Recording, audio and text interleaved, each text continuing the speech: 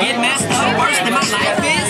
My brain's dead weight, trying to get my head straight, but I can't figure out which Spice Girl I wanna win pregnant.